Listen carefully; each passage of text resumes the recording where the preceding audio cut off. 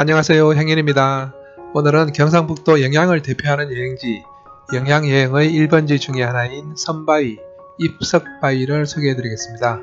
영양으로 들어가는 입구에 있는 입암면에 자리하고 있고요.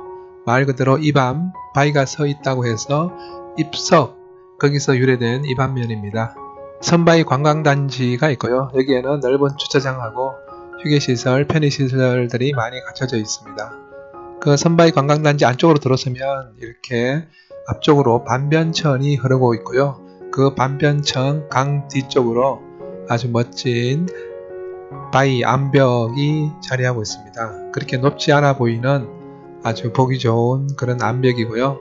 저 바위를 따라서 흐르는 이 반변천하고 또 왼쪽에서 흘러오는 청계천이라는 두 개의 물이 합류되는 지점에 이렇게 입석이라는 선바위가 자리하고 있습니다.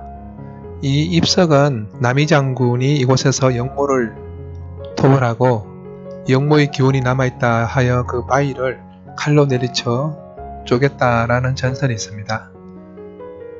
입석바위, 선바위 관광지대를 지나서 좀 더 위쪽으로 올라서면 이렇게 영양 산촌생활 박물관이 자리하고 있습니다. 들어가면서 왼쪽에는 주차장이 있고요. 또 정면에는 이렇게 안내문이 자리하고 있습니다. 전통문화공원하고 산촌생활체험관으로 구성되어 있고요. 먼저 우측으로 진행을 해봅니다.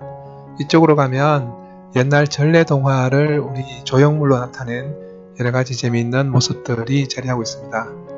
호랑이와 곶감, 의좋은 형제, 그리고 흥분의 가족 이런 전래동화를 형상화한 조형물들을 지나서 들어오면 방아가 있고 또 곡식을 찢는 데 사용한 맷돌이 자리하고 있습니다.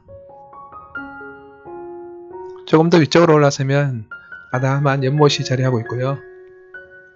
지금은 겨울철이라서 연꽃이 없는데 연꽃이 피면 아주 멋진 모습일 것 같습니다.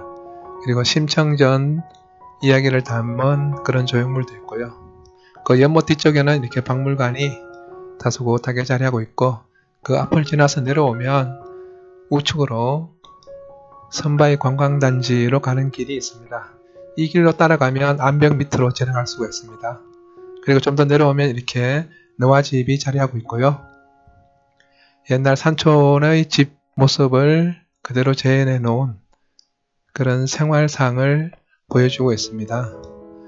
지금 보이는 것은 투방집이고요. 투방집은 통나무를 이렇게 높이 쌓아서 그 가운데에 흙을 발라서 지은 집이라고 합니다. 외양간이 있고 우물이 있고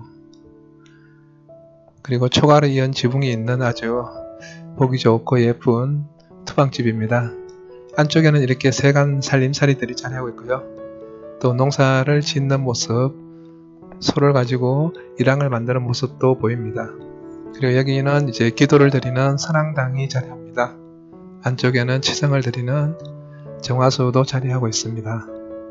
이렇게 산천 생활을 볼 수 있는 영양 산천 생활 박물관입니다. 그리고 그 옆에 선바위도 둘러볼 만한 곳입니다.